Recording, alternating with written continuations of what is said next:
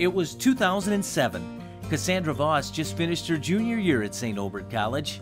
She was on top of the world, about to embark on a study abroad trip to South Africa. She was just very, very pleased and fulfilled and had big ideas and big plans for the future. Not specific ones necessarily, but general ones, and she was in the midst of figuring out what she was going to do. But before she were to go overseas, Cassandra wanted to squeeze in one last trip with her friend and roommate. The roadmap was to drive to San Francisco and back, with stops in between. But in the middle of rural Nebraska, tragedy struck. It was at 8.40 in the morning on May 21st, 2007.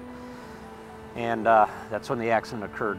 And Cassie was killed uh, on the scene, killed immediately. Cassandra was 21 years old. You know, this was God's will. And for whatever reason, even though there's no way I could understand it, I was going to go from the premise that things do happen for a positive reason, and if I have to wait to find out what that reason is, I'll certainly do that. Kurt's wait would last six years, but this is where the story comes full circle.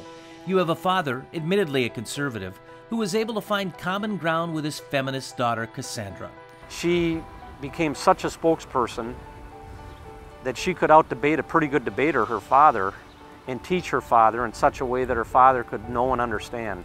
A father's faith and determination, coupled with a daughter's dream, along with a number of amazing twists and turns along the way, has produced this the Cassandra Voss Center, a former church built in 1883 that will house the Women's Center, the Men's Initiative, and the Women's and Gender Studies discipline. She was my student and so beautiful in that her her death is being turned into something extraordinary that will speak to people.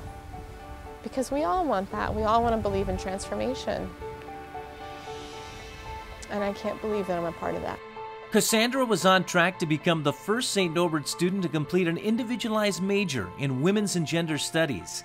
And she often spoke about a place on the St. Norbert campus that would welcome all gender related programming. It's often seen as things that we don't want to talk about but I think when we do really intentional and, and strong programming, folks want to be in those spaces, and I think that's proven true on campus. And this will be an opportunity to really, really amplify those programs. And I think St. Norbert will be a leader in the entire state and country with this sort of work. The Cassandra Voss Center is an innovative and unique facility, just like Cassandra would have envisioned it. Already, it's a space that has drawn one of the largest ever gift totals for gender programming at any college or university. There's no doubt in my mind that God has very very large plans for what's going to happen within those walls. The dedication for the Cassandra Voss Center will be held on her birthday. She would have been 28 years old. She'd buy a really great dress for the opening.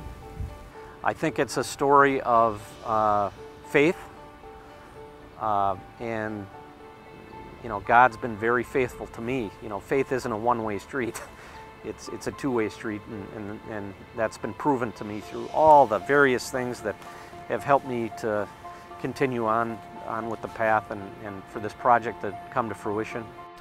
I'm Mike Counter reporting for St. Norbert College.